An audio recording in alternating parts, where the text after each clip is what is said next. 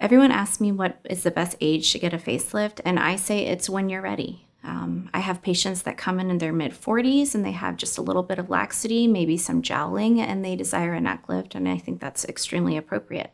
Other patients come in in their 70s and they desire a facelift, and I think the, really the answer is whenever you're ready and whenever it bothers you enough to do something about it. Some of the most common concerns that patients present to me with are jowls in their neckline and marionette lines which are the lines that go from the corner of your mouth to your um, mandibular angle, as well as banding of their neck and droopiness of the neck. There's also mid face descent or loss of volume in the mid face, and just feeling like overall they have less volume.